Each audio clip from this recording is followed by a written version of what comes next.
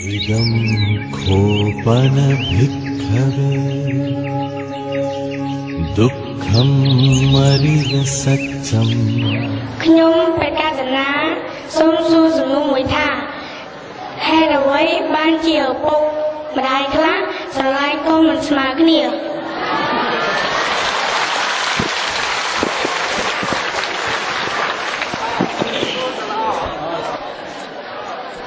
ហ្នឹងហើយកូនហើយម៉ែឪលើកនេះមានកត្តា2បងសួរតើហេតុអីបានជាស្រឡាញ់មិនស្មើទី1មកពីកូននឹងខ្លះខូចខ្លះល្អមែនអត់តែយើងអត់ល្អផងឲ្យគាត់ស្រឡាញ់មិននឹងទី1ទី2មកពីអកតេរបស់